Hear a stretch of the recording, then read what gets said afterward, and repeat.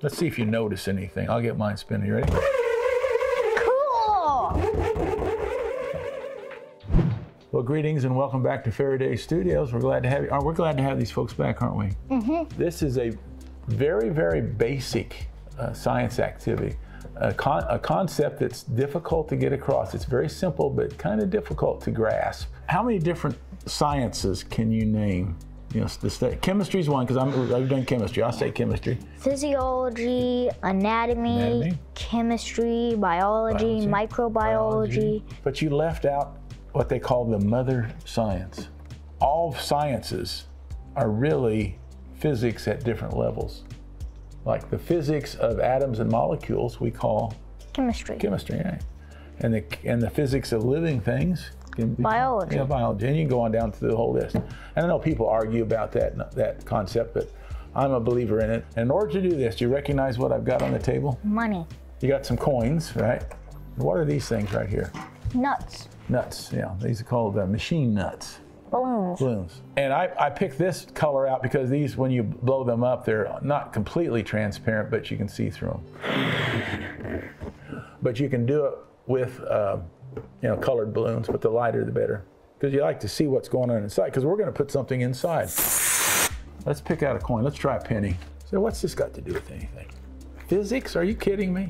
Have you ever ridden on a ride at an amusement park that throws you back against the wall or throws you up against something? Yes. Well, we're going to make one of those.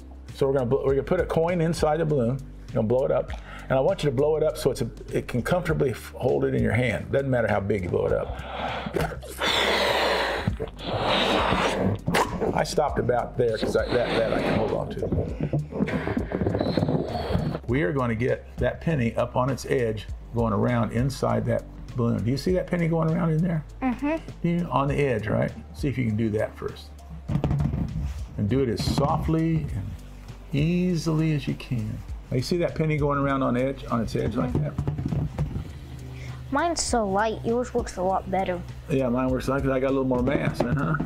Well, you just figured that out, huh? Heavier coin might be a little easier to handle.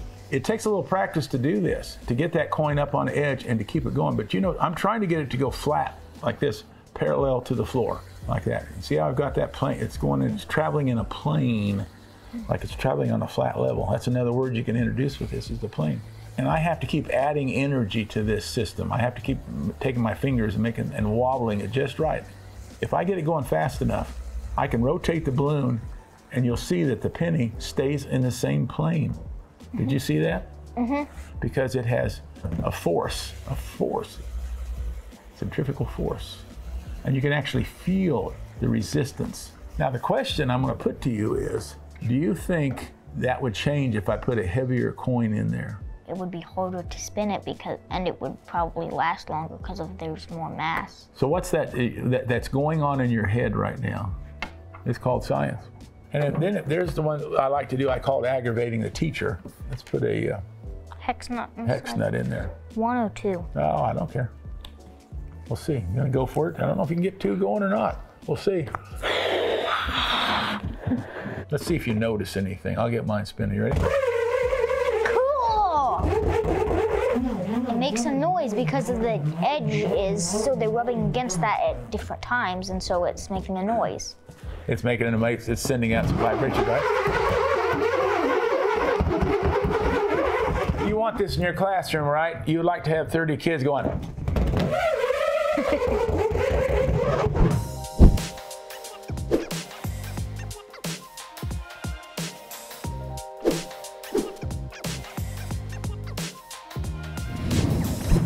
There's no correct answer for this other than feeling some a centrifugal force, just feeling it. You can say that I can feel that penny trying to bust through here.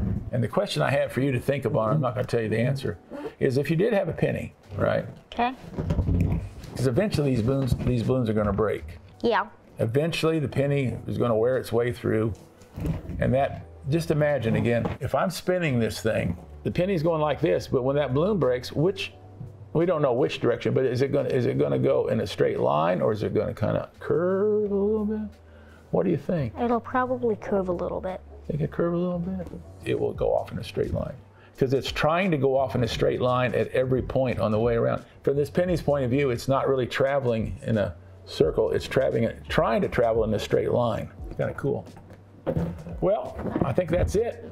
Uh, all you need to do this activity are some balloons, uh, some coins and washers of different sizes, and maybe some other little objects they want to test things, if they can, what kind of noise they can generate, or just allowing them to experience uh, one of the basic concepts in phys- physics is pretty cool. So, good luck with it. Say goodbye, would you? Bye. Bye. See you. Thank you.